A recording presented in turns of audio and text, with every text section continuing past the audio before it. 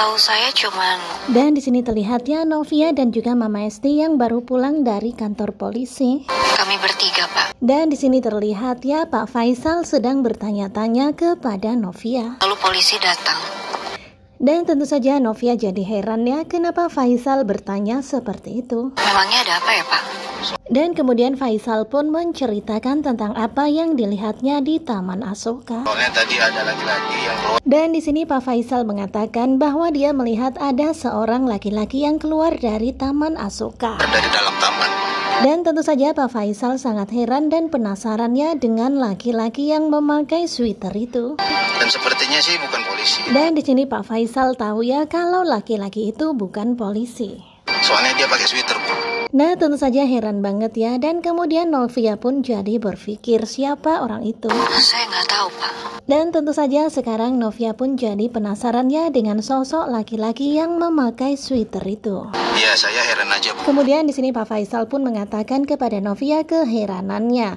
Ya karena sebenarnya Taman Asoka sudah dikosongkan semenjak Novia dan Pak Arjuna bertemu. Karena yang saya dengar, Dan tentunya harapan kita suatu saat nanti Pak Faisal bisa melihat si Michael sebagai pelakunya. taman itu sudah dikosongkan sebelumnya. Ya karena sedikit banyak Pak Faisal sudah tahu ya ciri-ciri laki-laki itu.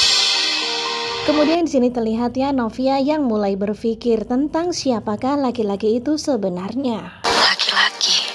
Dan tentu saja Novia masih bingung ya karena sampai saat ini Novia masih belum mencurigai siapa pun. Siapa ya laki-laki itu? Bahkan tentunya kita heran banget ya sama sekali Novia dan Jeffrey nggak terfikir kalau Michael pelakunya.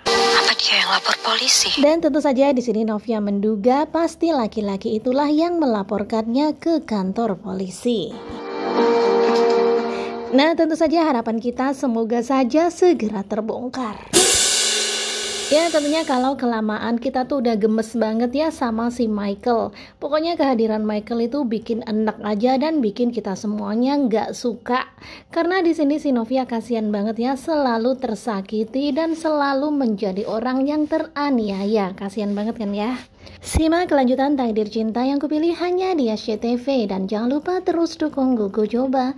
Terima kasih ya buat kalian yang selalu setia dan jangan lupa nantikan video-video selanjutnya. Terima kasih.